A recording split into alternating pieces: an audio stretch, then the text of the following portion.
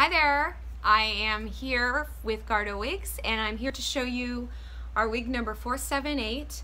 This is Louis Ferre PLF 007. Um, if you've been following me for any time, you know that I really am a fan of the Louis Ferre wigs and their PLF series is my one of my favorites. Um, so we've customized her. We have darkened and given low lights. Um, we've left the knots transparent. You see the colors in the back.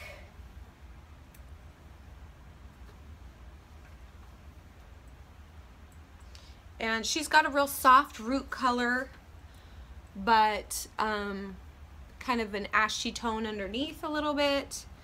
I dried this a little funky, but uh, she's ready to ship and this is fully hand-tied cap. It has a monofilament top and a lace front. And I'll go ahead and show you that right now. There's the lace front. There's your mono top, ear tabs, and fully hand-tied. And here so you can kind of see the colors that are throughout here.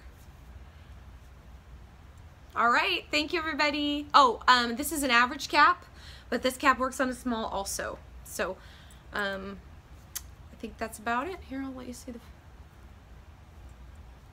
I want to show you this because on camera it can kind of look funky, but it's... There you go. All right, thanks everyone. Bye.